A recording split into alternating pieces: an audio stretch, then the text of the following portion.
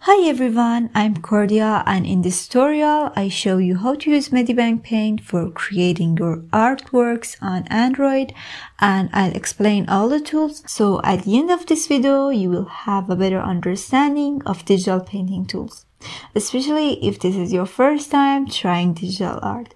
So let's start. MediBang is a free painting app that provides many features you need for drawing. I started my digital art journey with its Android version. Also, I use its PC version and I think it's really easy to use rather than other programs that look so complicated. Okay, so after installing, when you open the app, you see a page like this, you might see some instructions if you use the app for the first time. I start with MediBang community where you can share your works with other users.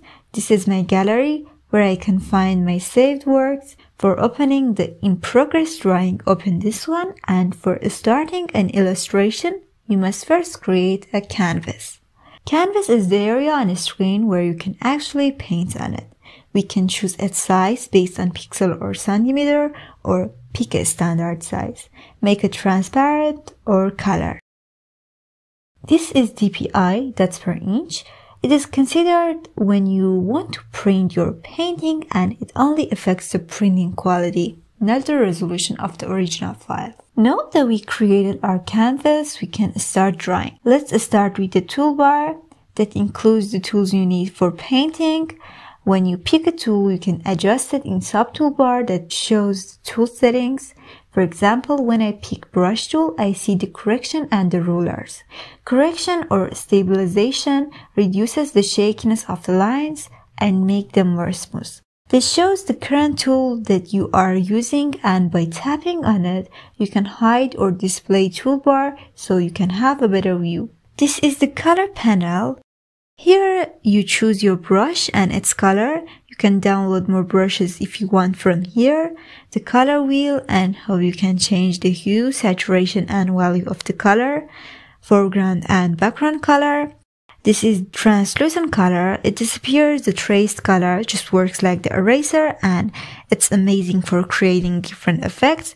So if you think that in this app you don't access to many erasers, just use translucent color.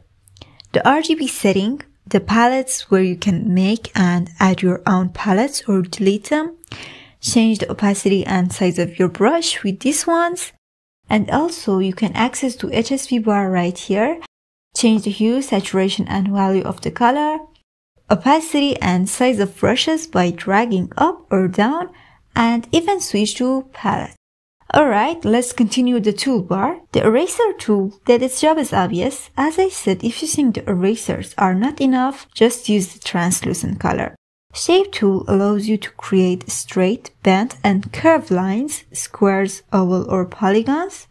The hand tool that allows you move the whole canvas, but for moving just one layer, use the movement tool. The filling tool works like the shape tool, but it fills the shape with picked color already for filling the selected area, use the bucket tool. Sometimes you see some white pixels after using bucket tool. For solving this problem, expand the pixels and if the shape you have chosen have some gaps, increase the close gaps level.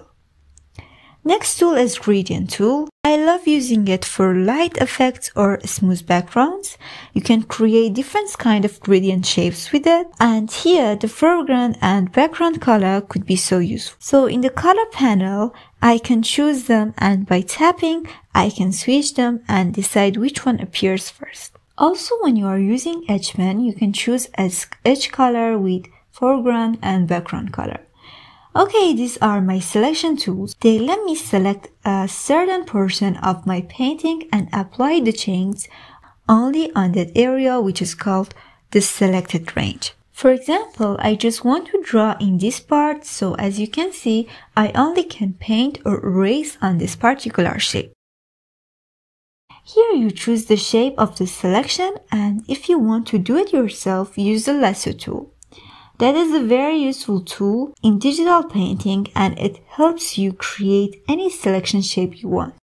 Off or normal means that you can select a portion just at once.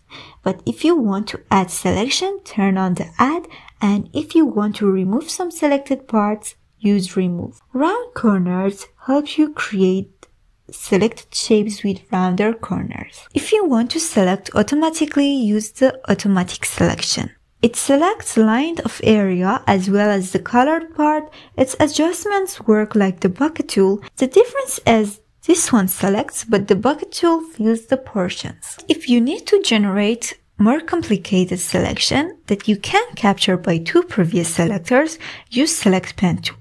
The red parts are my selected range and they can be fixed or erased by the next tool, Selection Eraser tool. For creating comics or manga, first you need to create panels and this one helps you do that. If you need to edit the panels that you have created, you can use operation tool. And last tool is the text tool for times you need to add a text to your work.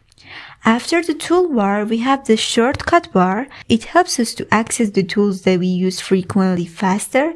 For example, I really use the flip tool and I don't want to look for it every time, so I just add it here. When you make a mistake, use undo and for picking the color on your painting directly, use the eyedropper or color picker.